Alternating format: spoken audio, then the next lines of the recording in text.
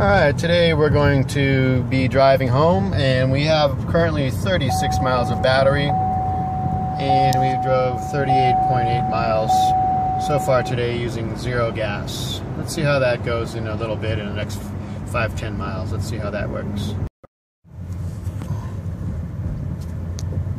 I've now driven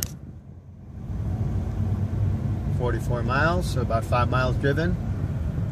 Actually gained one mile of battery, as you can see, 38 now on the same trip. I'm actually coming up on the 5, 10, 60 split right now, which is right up ahead.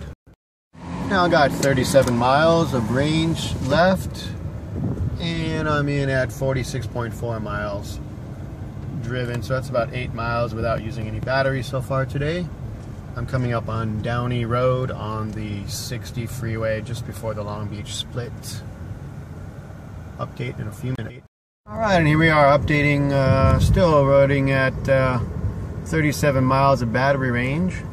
And we have now gotten up to 50.4 miles of, bat of actually driven. So we've driven about 12 miles now without using any battery and we are coming up the hill in Montebello right now on the 60 freeway. So we'll probably use a little bit of battery here but uh, it's doing pretty good here. About 12 miles now and not any battery usage